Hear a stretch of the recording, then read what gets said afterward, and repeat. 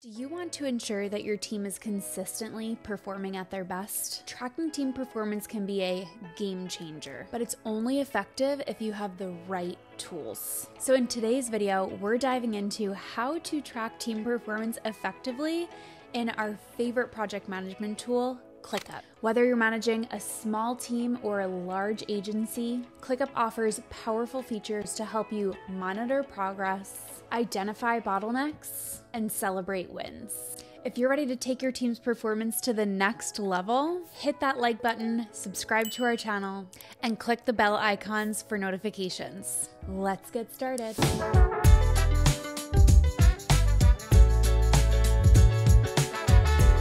There are so many ways that you can track team performance using ClickUp, but today I'm going to cover the main four ways that you can do this. I'm going to go in order of complexity.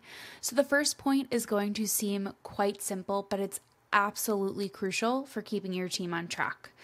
It is making sure that you have assignees and due dates on everything that you need your team to accomplish. So, starting with okay, whether you have team task lists that just have one off tasks for your team to complete, whether they're putting things there for themselves or different team members are delegating different things to each other. You can create team task lists. You can also create a shortcut that anytime a task is created, it always assigns it to that specific person. So if I put something in here, you know, I need Christy to help me with this email response or whatever it is, then it's automatically going to assign that person. You want to put a due date on it instead of just being like, hey, can you take care of this thing? Setting them up for success means putting a due date on it, even if that due date is flexible. So that's just if you have one off lists, but then also if you have an entire project. So if we go into our client management or project management, you want to make sure in an entire client project that you actually have a person assigned to the project or the tasks that they need to complete with due dates as well. So, okay, if I need my assistant to order the client gift, we want to make sure that this is set up with a due date so it's showing on their dashboard or calendar. You want to make sure that they have due dates so they can see them on their calendars and also prioritize what they have to do in what order. So that's point number one. Yes, it seems very simple, but it's absolutely crucial. The next thing is, which really ties into having due dates and assignees on everything, is then being able to set up team member calendars and dashboards.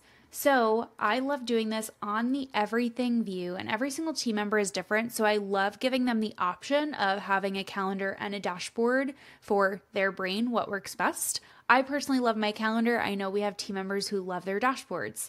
And so here is where you will be able to see the different things that are just assigned to that person, right? So here, let me take off Jeff. This should be Christy's calendar. And then you can create one for each individual team member. So you can create every something on the everything view that then has oh here we are christy's calendar. So you can have that the filter the assignee is that person. You also want to make sure in the settings that it is showing subtasks. You can also show things like priorities and tags and things like that.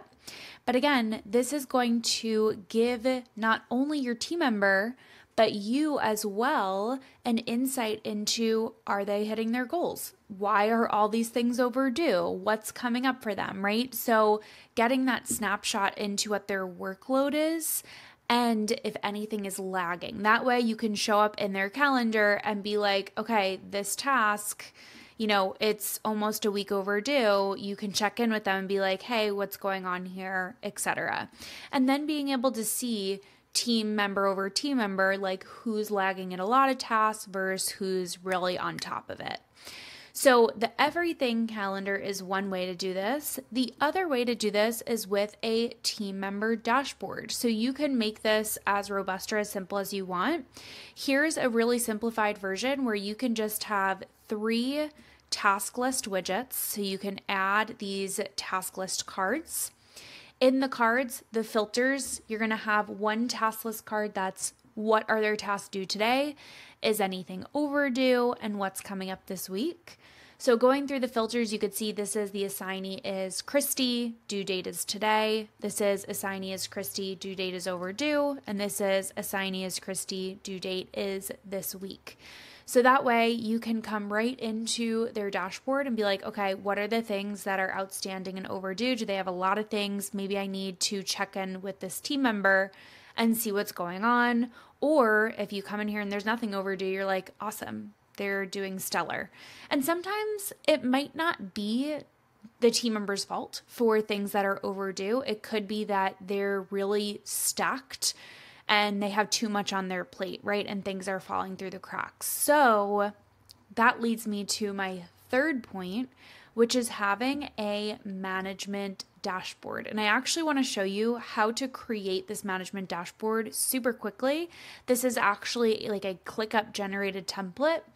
So if you come into dashboards and then you click on new dashboard, you can then do a team reporting. Um, the location you can select or all, or if there are only specific spaces that your team is working out of, you can select those.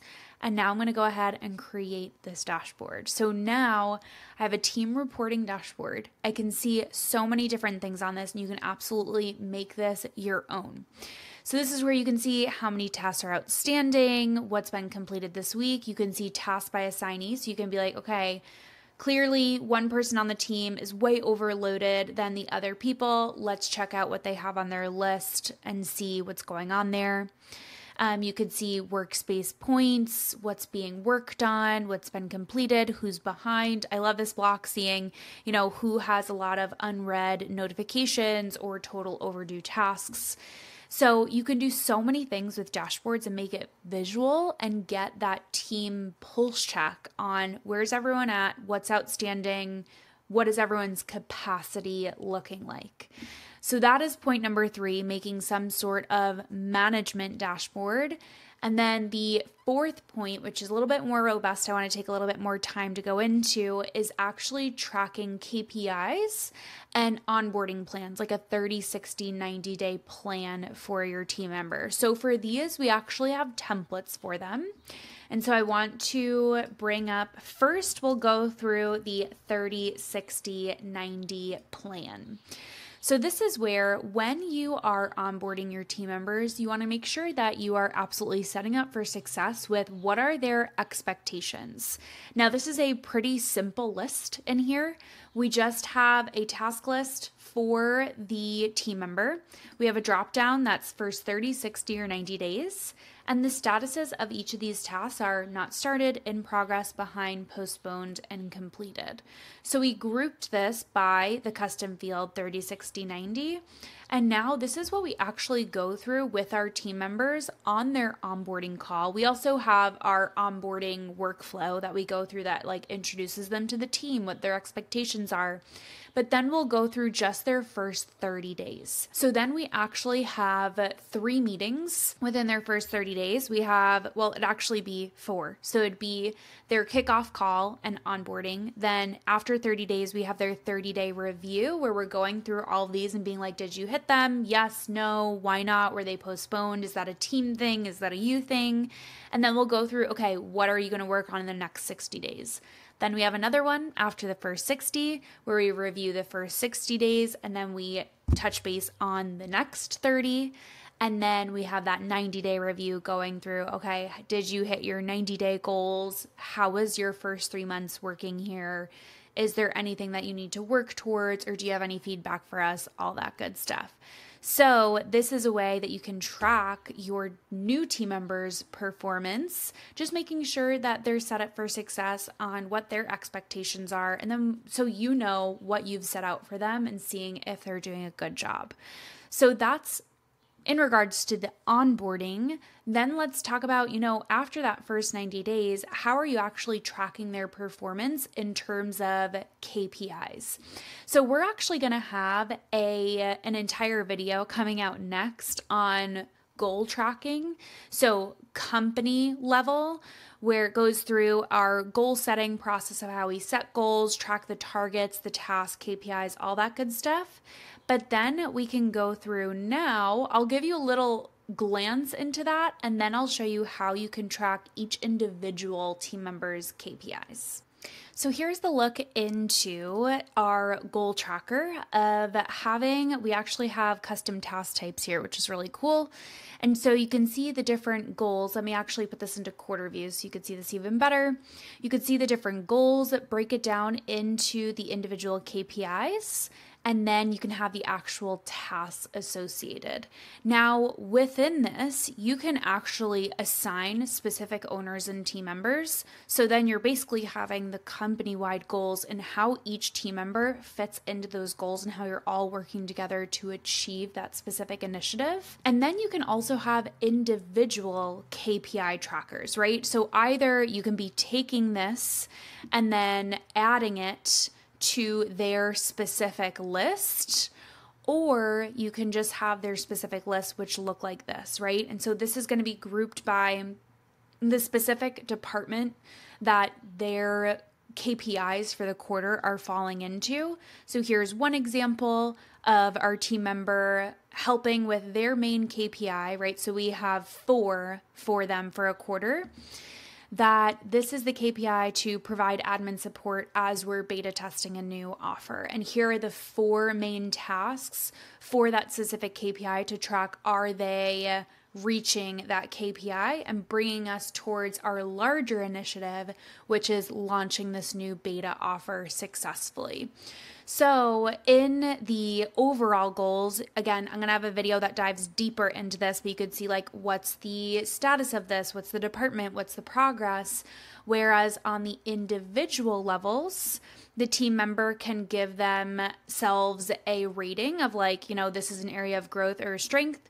Then the manager can rate it. You can put any notes and see the progress towards that as well. We also have another type of KPI tracker. Just want to give you guys uh, some visuals there where instead of it just being done or not done, if you want individual team members to be responsible for tracking things like you know, lead follow ups or website views or things that are more company driven, not like task driven then you can also have these type of things where you're having them track on a weekly basis. Okay what's our goal? What was the actual? Then you could have formula fields to see okay then what was the outcome? Is this on track at risk etc so that would be less in terms of like team performance and more so as like company initiatives and outcomes. But i wanted to show you that option as well. So I feel like I blasted through a bunch of different examples here, but I really just wanted to show you the power that ClickUp has not only for task and project management, but also for reporting to really manage your team members well, to make sure that they're on track and be able to track their performance and be able to make data driven decisions from those specific metrics. And that's a wrap. You've just learned how you can use the powerful project management tool ClickUp to track your team's performance effectively. So let me ask you this. Are you ready to transform your agency's operations? At DaSilva Life, we've empowered hundreds of agencies and teams to become seamless, efficient powerhouses. So if you're eager to implement a clear system and scale your agency to new heights, go ahead and visit dasilvalife.com slash contact and let's get in touch today. Thank you so much for watching this video. If you found it helpful, make sure to like and subscribe to our channel and feel free to send this to any other agency owner or team member that you think could benefit from this video. Thanks again for watching and I'll see you next time.